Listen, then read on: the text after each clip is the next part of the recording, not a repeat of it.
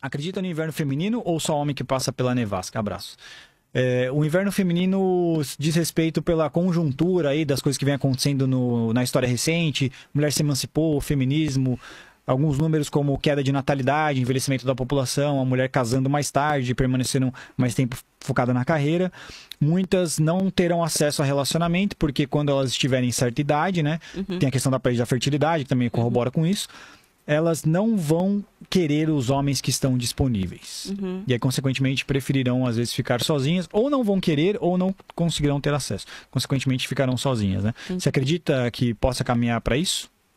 Sim, acredito. E qual é o inverno masculino? Mas só, só antes pra eu entender. O inverno masculino é- é justamente pela emancipação das mulheres e tal, pela questão do feminismo, mídia social que já estão menos acessíveis, se tornarem cada vez menos acessíveis.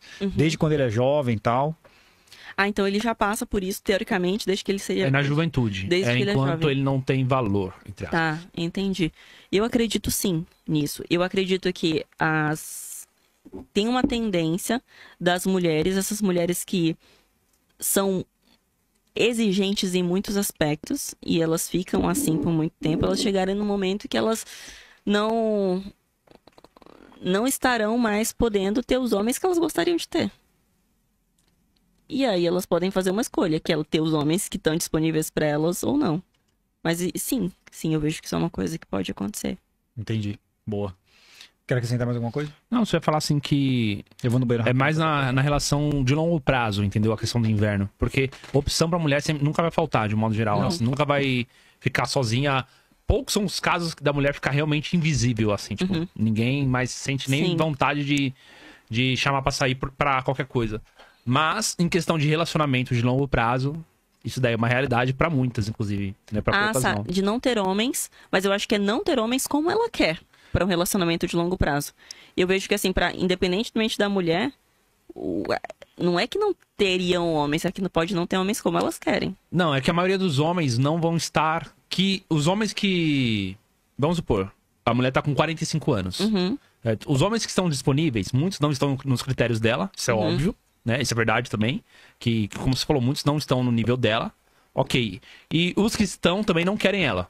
Uhum. Porque um cara que tá com 45 anos, ele não vai pegar uma mulher de 45, ele vai pegar uma mulher Uhum. de, sei lá, como que o cara queria lá, uma de 30, 34, 30, 40. Que 30, fala. 40 e tal. Se o cara tá chegando justamente numa fase que ele vai poder escolher e ele nunca vai escolher uma que não pode ter filho, não pode engravidar, já perdeu toda a massa muscular magra, ela tá perdendo forma do corpo, entendeu? Ela tá com a libido baixa, se ela tiver filho, então piorou, né? Uhum. E aí o cara ele não vai escolher essa mulher.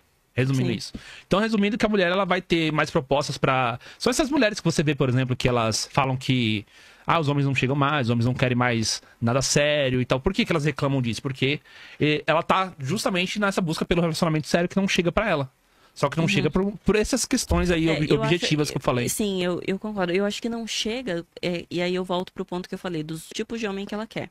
E aí eu escuto isso de muitas mulheres. É, então a, a mulher, em várias fases, ah, e os homens não estão querendo nada mesmo. Os homens não estão nem aí, homem. Isso, essa é uma reclamação da mulher, das mulheres em massa.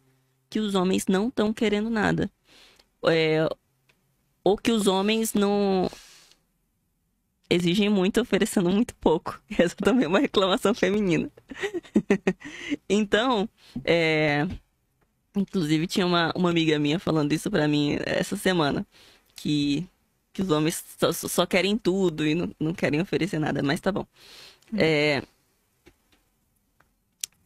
O que eu acho é que não, tem, não vão ter homens, pra essa mulher que fica sozinha, o que não tem é homens do jeito que ela quer. Pra ela ter um relacionamento homens que não vão querer um relacionamento nenhum, eu acho que é difícil acontecer. Mas não do jeito que ela quer. Às vezes ela vai querer um homem, é como você falou, um homem ah, com uma certa condição, em um determinado momento de vida, e esse cara não quer um relacionamento com ela. Sim. Show. Boa. O que vocês estavam falando? Ela tava falando que ela não acredita no inverno do jeito que a gente acredita, não, porque pra ela é mais a questão de nível de cara que a mulher vai ter, não da questão da mulher ficar sozinha mesmo. Entendi. Mas aqui a gente falou, não, pô, a mulher ela vai ter o tipo de cara que ela quiser, mas por uma noite, pra relacionamento mesmo, não não chega. O, Sim. o cara que, que com, com 40, 45 anos, ele ele vai ter um poder de escolha diferente do dela. Então, o que, que ela vai ter a oferecer no relacionamento que ele já não pode ter, entendeu? Se ele ficar com ela só no casual.